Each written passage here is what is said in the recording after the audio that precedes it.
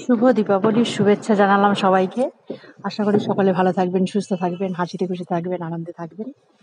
তো আজকে বিষয় হলো মায়ের তিনটি নাম। তো আমি মায়ের তিনটি নাম বলছি। এক হচ্ছে জ্যোতি, জ্যোতির্ময়ী, যার থেকে আমি, আমরা সবসময় আলো পাই। দ্বিতীয় হচ্ছে মাকে দেখে আমার মনে হয়েছে সুনয়নী। হ্যাঁ মায়ের যে চোখ, সেই চোখ দেখে আমার মনে হয়েছে মায়ের নাম দেওয়া উচিত সুনয়নী।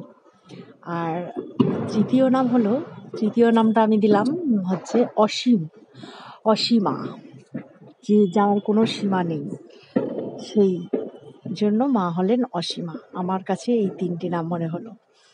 এছাড়া তো আরও অনেক নামই দেয়া যায় এবং আরও দিদিভাই বা মামনি আরও অনেক নাম বলেছে।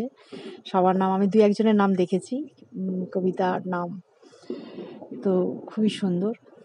জানি না আমারগুলো কেমন লাগবে, তাও অবশ্যই সকলে কমেন্ট করে জানিও যে কেমন লাগল আমার নাম।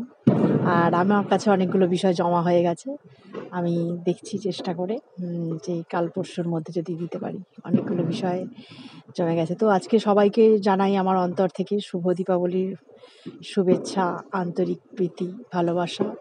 বড়রা, গুরুজন যারা, তারা আমার অবশ্যই প্রণাম নেবেন আর এবং আমাকেও আশীর্বাদ করবেন যাতে আমি সকলের সাথে সমানভাবে চলতে পারি। আপনারা সবাই জানেন আমি ভীষণই মানে কাজ